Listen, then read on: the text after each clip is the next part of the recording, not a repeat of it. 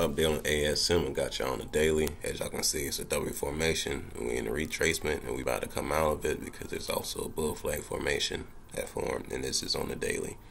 So ultimately our shorter term goals is to get it up here. We gotta hit this 18 cent range. But we're gonna come up here, we gonna, we gonna come all the way up here to the 18 and a half cent. I'll say the 18 and 20 cent range. We're gonna come back down and retrace off the 18. And then that's when we're gonna start making our move all the way back up here to the 25 cent range, back to the all-time high. So I was looking at it a little closer. Y'all see the bull flag formation is in closer form, but we're getting close to the end of it. And like I just mentioned, our next goals will basically be these wicks we see. So the closer one would be 17 and a half cent, and then we'll be up to 20 cent, and like I said, ultimately up here to the 25 cent range. But yeah. Anyways, anything I just said is not financial advice at all. Y'all growing, you make your own decisions, but like, comment, and subscribe. Peace.